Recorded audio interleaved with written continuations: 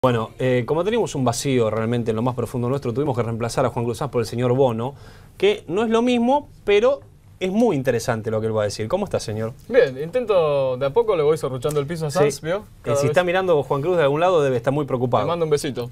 Porque aparte usted es políglota.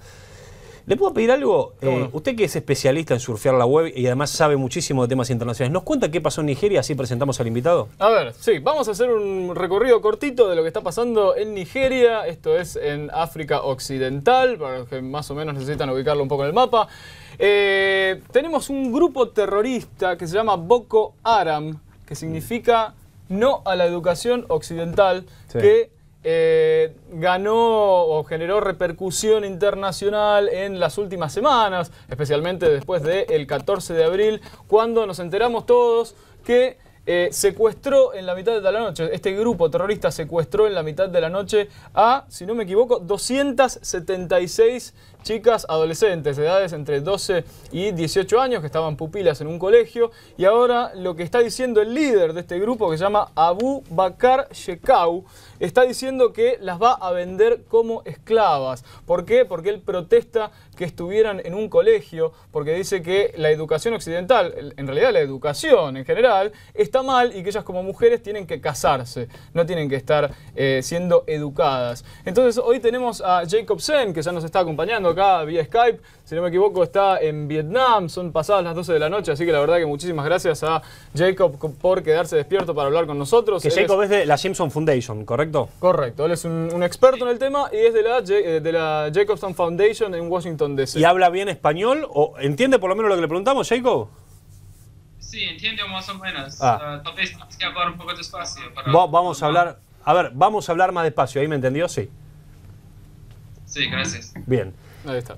Bueno, no sé si usted le quiere hacer alguna pregunta. Eh, yo la verdad es que ya le, explicamos a Jacob que si de repente no sabe eh, o tiene algo que no sabe qué decir, lo puede hacer en inglés y nosotros lo traducimos, no hay ningún problema. Pero a mí eh, lo que me interesa saber, antes que nada, Jacob, es de qué manera el gobierno de Nigeria está luchando contra este grupo que, si no me equivoco, cada día gana más adeptos y se está expandiendo cada vez más por el país. ¿El gobierno está haciendo algo para, para tratar de contrarrestar el poder que está ganando esta organización? ¿En serio? El gobierno no está haciendo mucho para, eh, contar, eh, para pelear con Boko Haram.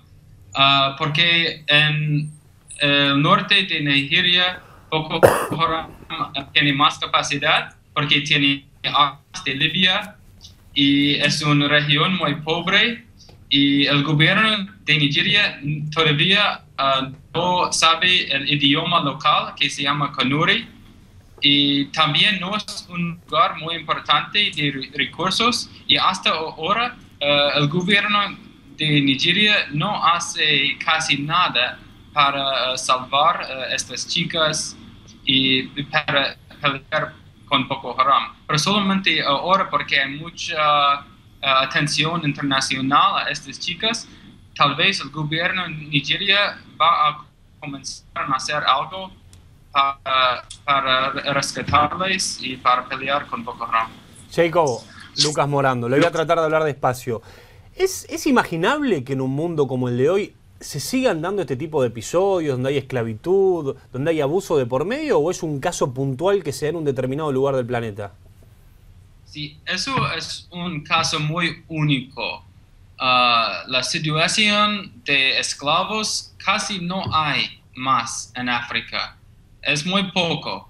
Pero hace un año que Abu Bakr Shekau, el líder de Boko Haram, ha dicho que él va a tomar todas las uh, mujeres que estudian con uh, la educación occidental o que son cristianas, él va a tomarles como infideles, como enemigos y uh, ponerles en esclavitud. Y en mi opinión, Shekau va a dar esas chicas a sus militantes como un regalo, si nosotros podemos decir algo y también tal vez eh, va a venderles atrás al gobierno de Nigeria para mucho dinero, pero con este dinero Boko Haram puede comprar más armas y tomar más chicas, como un ciclo que es ah, muy peligroso también. Eh, Jacob, yo te quería hacer una, una, pregunta, porque el líder de esta organización, Chekhov, eh, dijo hace unos días en un video que se vio en internet, dijo que eh, su religión permite la esclavitud. ¿Me podés explicar un poco más a qué religión pertenece este líder? Porque es interesante, digo, eh, él en teoría es un líder islámico, él pertenece al Islam, pero sin embargo eh, claramente está haciendo una interpretación bastante peculiar de su religión, ya que él dijo claramente que su religión le permite la esclavitud y vender a estas chicas como esclavas. Explícame un, explícame un poco de eh, cuál es la religión a la que él responde. Sí, exactamente. Él pertenece la religión de Islam y el secto que se llama salafist. Y los salafistas quieren practicar su idioma como uh, su uh, religión, como la religión ha ido uh, más que un mil años atrás. Es como el fundamentalismo. Y ah. es verdad ah. que hace mil años había esclavitud en África y en Arabia. y, y, en Islam, en su Corán, su, su libro sagrado, hay algunas uh, partes que hablan sobre esclavitud. Y en, esos días no, no, hay nada que usa esas líneas sobre esclavitud, solamente Shekau. Uh, o sea que él lo que hace es una interpretación muy arcaica de lo que es el Corán. Él intenta retrotraer su religión mil años atrás. Sí, sí, e, exactamente. Y, y, yo, no puedo decir que si es eh, correcto o ni correcto, que yo no estudie eh, la religión como experto, pero lo que necesitamos es que otras eh, personas que pertenecen al Islam pueden decir en una manera muy pública que sí, esclavitud ha, sido una parte de, nuestra religión, para, pero tiene que explicar las razones porque esta interpretación en este mundo que nosotros eh, vivimos ahora no está correcto. Jacob, de todos modos, el Islam o, la religión que está detrás del Islam sigue siendo la más masiva a nivel mundial, ¿correcto? Es la que mayor cantidad de actos tiene, ¿o no? Sí, eh, eh, la religión islam tiene como un billón o más personas que se pertenecen. Es una religión global. Es la más grande del mundo, ¿no? Eh, tal vez sí, sí. o cristianos, no. Mm, tal vez sí es, es el más grande en el, eh, eh, en, el mundo. ¿Sí? ¿Ustedes qué hacen desde la Jamestown Foundation? ¿A qué se dedican exactamente para que la gente que te está escuchando acá en la Argentina se dé cuenta más o menos dónde estás ubicado? Ah, nosotros, en la Jamestown Foundation, nosotros hacemos uh, reportes y investigaciones sobre uh, geopolítica y análisis de la seguridad internacional, especialmente en los, en los lugares del mundo que otras personas no, no dan atención, como Nigeria o países en Asia Central. ¿Dónde pensás, antes de que te haga una pregunta más, Bono, ¿dónde pensás que son los lugares del mundo donde más problemas hay vinculados a las instituciones, a la democracia, al fortalecimiento de la vida de la gente en cuanto a que no se vulneren sus derechos? En serio, ahora si nosotros uh, miramos África Central, donde hay Boko Haram, donde hay Joseph Kony, él, es otra persona, él es cristiano, pero él también toma los esclavos. Y uh, la República de África Central, hay muchas guerras ahora. Y, yo, yo, veo que la, el sistema, la sistema política, el sistema de fronteras está, uh, tiene muchos problemas ahora en África Central. políticas económicas y el orden está cambiando allá tenemos que seguimos eh, y concentrar en esta parte del mundo. Eh, Jacob, yo Eh, te hago una pregunta más y ya vamos terminando la entrevista. Pero ahora eh, estamos leyendo que Estados Unidos, eh, el Reino Unido van a enviar analistas o expertos que puedan por lo menos ayudar de alguna forma al gobierno de Nigeria a tratar de rescatar a estas más de 200 chicas que fueron secuestradas. Ahora, es interesante que últimamente estuve leyendo en, en varios informes que se habla de que hay o que puede llegar a existir una conexión entre Boko Haram y Al Qaeda. ¿Es cierto esto? Sí, es cierto que hay conexiones entre Boko Haram y Al Qaeda. Al Qaeda ha dado muchos recursos a Boko Haram ah, como dinero, ah, como entrenamiento, como armas y pasó ideología a Boko Haram también.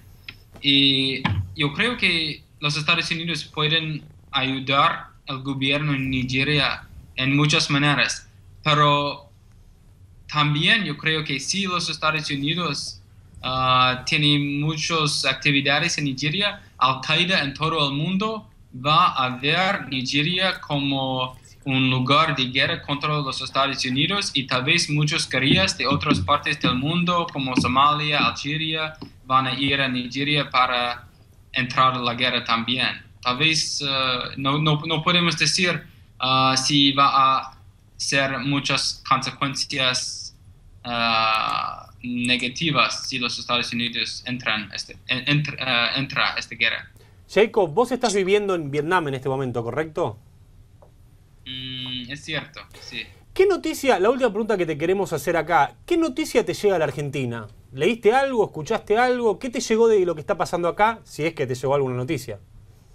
Ah, en la realidad, como yo estoy eh, viviendo aquí en Vietnam, en las noticias yo solamente escucho sobre China, Vietnam, ah, un poco de Ucrania, Rusia, pero sí hay muchos cambios o muchas noticias en Argentina. Aquí en ah, la televisión no lo, eh, no lo puedo ver. Claro. Lo siento. No, estamos. estamos. Gra- Pero eh, es que, que usted eh, está mirando lo que pasa en Nigeria y yo estoy en Vietnam, usted está en Argentina, es, como en un mundo global tenemos que ver y entender lo que pasa en todas las partes. ¿Cuánto hace que estás en Vietnam? Eh, hace un- una semana y voy a estar aquí para dos semanas más, yo creo. ¿Y dónde estabas antes? ¿Estados Unidos? Eh, y- yo vivo más o menos en Washington, pero viajo mucho a otros lados. ¿Y en Washington te llegan noticias de la Argentina o tampoco? Eh, tampoco, ni mucho. Tampoco no mucho. Bueno, gracias. ¿Sabés cómo se llama la presidenta de la Argentina? Si yo te pregunto. Eh, Kirchner. Sí, muy, bien, muy bien, muy bien, muy bien. Bueno, gracias, Jacob, eh, por habernos atendido desde tan lejos.